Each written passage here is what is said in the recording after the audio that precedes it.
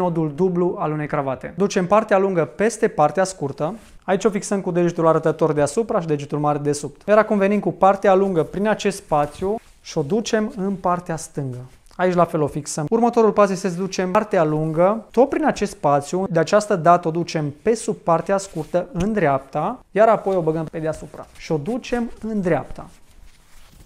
Aici vă opriți puțin și vă asigurați că iese un triunghi simetric. Ducem partea lungă peste acest triunghi. Vă recomand să țineți cu degetul arătător și ducem partea lungă peste acest triunghi. Ținem degetul arătător acolo, iar acum partea lungă o scoatem tot prin acest spațiu și o băgăm prin spațiul care ne-a rămas ținut de degetul arătător. Cel mai probabil nu o să iasă din prima, însă încercați de mai multe ori și o să vedeți că este foarte simplu. Și ridicăm cravata și o strângem până sus de tot. Să rămână spațiu între extremitatea cămășii și nodul cravatei. Să vă asigurați că ajunge vârful până în zona unde este catarama curelei.